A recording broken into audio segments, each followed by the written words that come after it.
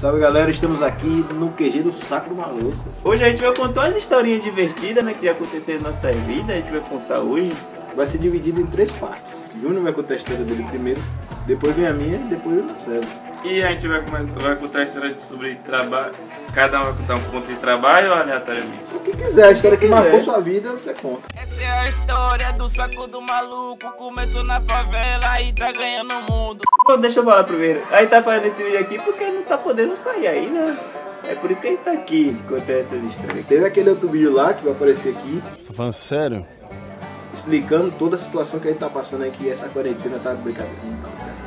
Tá. Eu vou contar, velho, quando eu fui trabalhar na casa de uma coroa. Fala, velho, senta aqui lá minha história. é muito assim. falou que é velho, barriou. Primeiro eu tava de boa assim, né, velho? Aí o cara me ligou lá.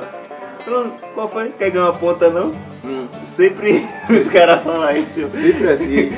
Eu, qual foi? Eu falei, não, pai, tô ligado que você tá de emprego, não quer trabalhar não? Eu falei, quero, quero sim. Quem não quer trabalhar, né? Ele só vai trabalhar de caseiro lá em Vila da Atlântica. Eu, como é, rapaz?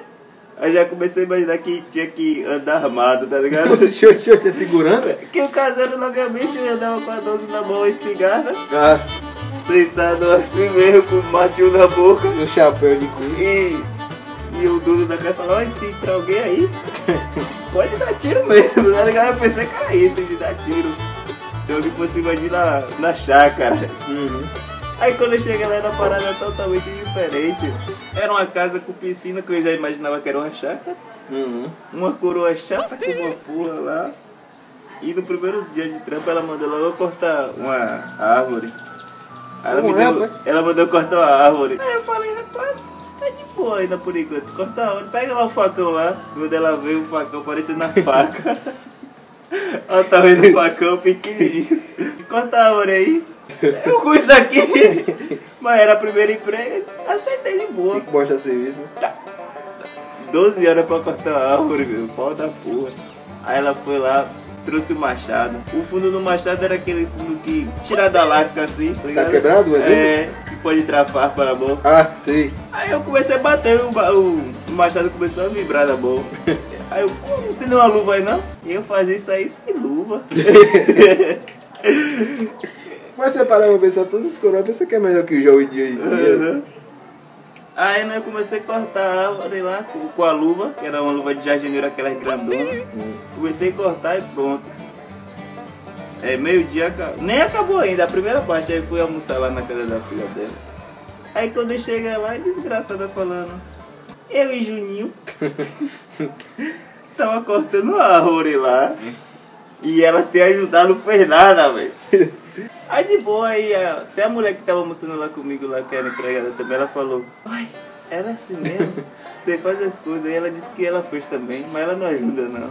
Aí eu não quis nem falar nada, né? Vai que era primeiro dia, a mulher tá me testando lá também pra eu falar mal dela É. e ela contar pra outra. O cara é um gênio. Aí eu volto do almoço, aí quando eu demorava ela.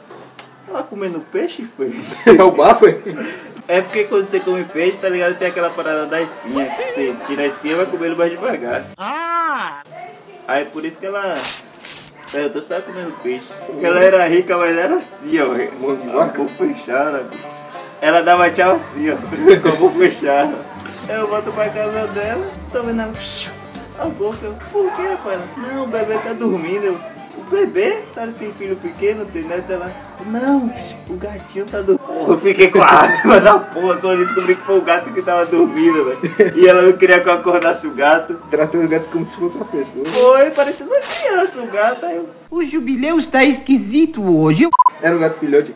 o gato velho já, o gato tinha mais de 13 anos já com ela.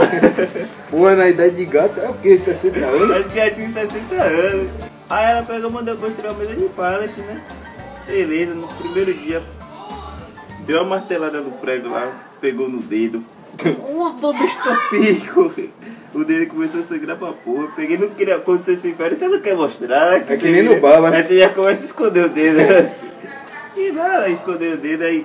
Quando ela saiu de perto, que ela só ficou assim em cima de mim. Porra. Aí quando ela saiu de perto, eu fui no banheiro, lavei a mão lá, enrolei o negócio aqui. Era pra me sair 4 horas da tarde. Era o horário lá, completava as 8 horas. Você Como é- chegava a que horário? Chegava 8 da manhã e saía 4 da tarde.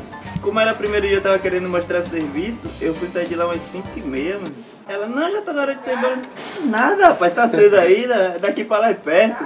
Você quer ficar mais? Foi pra mostrar serviço. Tá maluco? Aí fiquei lá até 5 e meia, eu vim chegar aqui em casa tardão, quase umas 9 horas já. No início era bom, tá ligado? Era parada. Porque eu não gosto de loja de sapato, que uma vez eu trabalhei em loja de sapato e você tinha que ficar pegando o pé da pessoa, medindo, e lá você não atendia ninguém, era só você fazendo as paradas lá, limpar a piscina, cortar grama, essas paradas aí. Aí depois que passou os tempos lá, velho, já comecei a tomar ódio de tudo. Tudo que ela mandava fazer já fazia com raiva já. Tinha dia que eu faltava pra porra de. Eu faltava. Quinta-feira eu não ia, tá ligado? Uhum. Aí, pô, hoje já é quinta, amanhã é sexta, eu também não vou não. Aí ainda tinha o sábado que era até meio-dia também. Eu, Mas eu não fui quinta nem sexta, pra que o sábado que é só até meio-dia? Nessa época você ficou bom de matemática? Aí quando eu chegava segunda-feira de manhã, velho, depois que eu tinha faltado esses, uns três dias, eu ia agora, eu vou chegar lá, vou falar o quê, velho? Aí eu no bus o tempo pensando, quando o bus ia chegando mais perto assim da casa, era vontade de faltar de novo. eu, acho que eu não vou não, eu ficava. Eu vou, quando eu chegava lá, por que você não é nem quinta, nem sexta, nem sábado? Eu ficava pensando, pra porra, minha avó tava doente. minha avó tava. Eu, eu matei tanta gente na família já. Pra botar trabalho. Tudo que ela falava já. Tipo final de namoro, tá ligado? Que Sou raiva. só vem raiva. A pessoa vai falar que você já tá com raiva já. E eu querendo faltar, faltar, faltar pra ela me demitir. Ela nada me querendo causa. Aí quem acabou se saindo foi eu. Olha, ai, não aguento mais não. Comecei a faltar pra porra, um mês faltando. E E aquela ela, época lá que você disse que você chegava, ela já tava na porra. pô, era mesmo, velho. Aí eu comecei a chegar, era pra eu chegar no trabalho 8 horas, tá ligado? Uhum. Começava a chegar 9. Mas e a, tra- e a trajetória de lá pra cá? Quando chovia aqui, tá ligado? Chovia pra porra aqui. E lá ela falava que tava fazendo sol. Aqui o sol tá tão quente que eu não posso nem sair da rua que eu me queimo. A bicha é desgraçada. Desgraçada, velho. Aí tinha um lugar lá, lá em Vila da Atlético que alagava, ficava cheio de. Só passava de barco só, tá ligado? E ela dizendo que lá tava fazendo sol, que não podia sair da rua. Aí quando eu chegava lá, ela já tava assim no portão. Não. Eu cheguei. Aí eu via, né? Aí você tá ligado que a gente não tem muito aquela manhã de querer andar rápido. Hum. Ainda mais ele não trabalhar. Eu andei pra não tipo chegar. assim. Ela você vem atrasada e tá vindo andando devagar. Aí quando você liga, quando eu chegava de manhã, o relógio dela tava bom. Uhum. Porque ela chegava e falava, aí ó, já vai dar 9 horas, tá vendo? Não, foi o ônibus que atrasou e tal. Tá vendo, gente? Agora de tarde você vai ter que descontar aí, da hora que você chegou, você vai ter que ser um pouquinho mais tarde. Aí eu, não, tá certo, de tarde eu desconto. Aí quando eu ia perguntar a hora ela de tarde, que horas é essa? Não sei, mas relógio tá ruim, a bateria tá ruim. E eu só na mente, eu, essa des... de manhã não tava bom, que quando eu cheguei atrasada ela não falou, e por que agora de tarde tá ruim? Pra você não ir embora nunca mais. Eu ia pro banheiro, eu molhava o rosto assim, meu Deus, não aguento não, vou você tava no inferno, mano. Eu não aguento mais. Tinha o rio atrás da casa, assim, eu vou, vou matar essa mulher, vou, vou amarrar uma pedra grandona no pé dela e vou jogar ela lá no rio lá. Eu falei, não, não quero mais trabalhar aqui não. Aí ela pegou e me é, demitiu, apagou meus tempos. Ainda você ficou também um tempo assim lá, não foi não? Foi, ficou tempo ela, é, o filho dela mandava ir lá. Aí falava que ia, mas eu tava cabreiro porque eu tinha aprontado tudo lá. Pensou que o cara queria lhe pegar. É, eu falei, "Ah, se eu falar, o cara ia me matar lá. Chega aí, Júnior. Aí eu fiquei, ali pro nada. fiquei um tempo sem lá e depois eu fui. Quando eu cheguei lá, eles estavam tudo de boa comigo. Ela é aquela pessoa que tem toque, tá ligado? Que tudo quer certo. Se tiver um negóciozinho, ela é assim. Tudo certinho ela queria. Aí o chão da casa dela, o piso assim, aquelas frestas do piso, ela queria que esfregasse ali. Pra limpar no meio do piso assim, aquela frestinha. Oxi, não é aquilo ali, não se limpa não, velho. E Pra ela, quê? eu não sei. E quando eu fui pra lá, eu pensei que eu ia trabalhar de caseiro. Ah, é? Trabalhar bom e eu virei foi empregado doméstico, foi. Você virou uma diarista. Que ela tava dando ali pra fresta da, da parada, do piso. Até os tetos assim, aqueles pau que tem no telhado. Não. Ela queria que eu limpasse aquilo ali e passasse óleo queimado, porque não esculpia. Ah, Júnior, vai se lascar, rapaz. Por isso, é, até se você não ia mais mesmo, nem pegava dinheiro. Ela era uma mulher tão desgraçada que parecia aquele filme de terror, velho.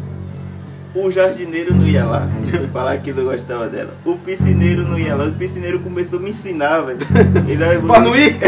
eu vou lhe ensinar aqui pra você aprender pra eu não vir mais aqui. E ele falava que não gostava dela, que tinha que usar o produto da piscina, tá ligado? E ela queria economizar. Ah, não, não é isso tudo não. Aí a piscina só ficava verde lá.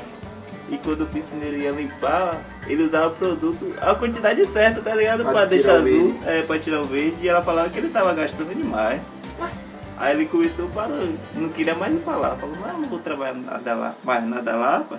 A mulher economiza demais, não quer nem pagar. Isso é mulher rica, velho. Uhum. Essa foi a história resumida. Se alguém. Ainda tinha mais coisa, Tem mas mais? não tem.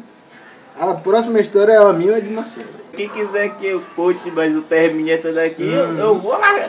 Porque aqui eu não escrevi nada não, aqui foi o que eu fui lembrando. Mas se ver que gostaram aí, eu vou escrever lá, as paradas lá que eu mais acho barril lá engraçado, eu pego e trago pra cá. Aí, um ano desse trabalho aí, né? Dez meses. Dez meses desse trabalho aí é muita história, né? Tem a história lá que. 10 meses como 10 anos, como se fosse 10 anos. Aham. Teve a história que ele ficou sozinho na casa da mulher lá pra cuidar do bicho lá que ele não contou ainda. Mas se vocês quiserem. Gostou, gostou. Se não gostou, oda-se. Essa é a história do saco do maluco. Começou na favela e tá ganhando o mundo. Que não queria ver, já fomos na TV. Esse é a brega forte que eu mando pra você.